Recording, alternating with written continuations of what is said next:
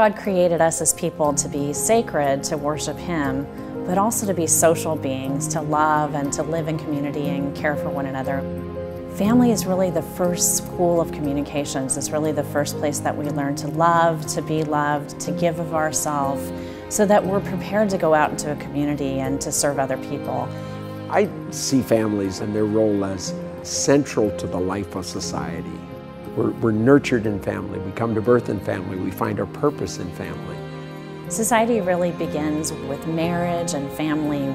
If family is broken, if marriage is broken, if our relationships there at the most basic level are broken, society really can't function as it should at the service of others, with love for others, with compassion for others. Community is rooted in our faith. From the very beginning, God Himself, who is community, Father, Son, and Holy Spirit at the core of the universe is a relationship.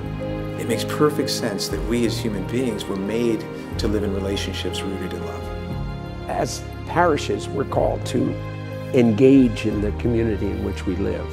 Uh, we're not supposed to be bystanders or mere observers, but instead we're supposed to get in there and, and live and listen and love the people that, that God has placed around us. Most of us are not happy to simply be acted on. We want to act for ourselves, we want to act for others.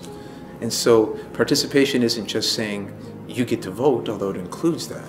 It's saying we will equip you, we will give you access to the resources and the opportunity you need so that not only can you occasionally say something, but that you can come in and have an impact in a situation.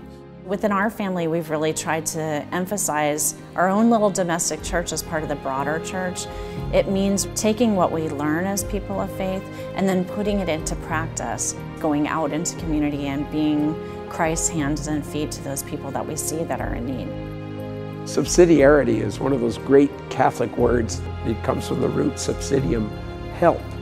Subsidiarity is allowing the different levels of society to do the job for which they were made. It doesn't mean that occasionally, when those institutions can't do their job, that they get help from larger institutions.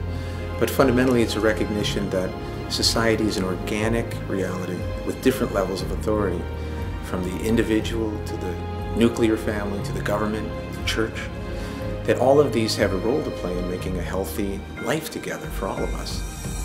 We can appreciate how we have to be involved at different levels, responding to different needs.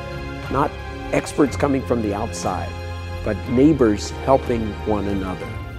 At the heart of reality, we're all made social beings. There's a modern myth that says we're all just autonomous individuals. It's just not how we experience life. Who of us would want to live without friendship?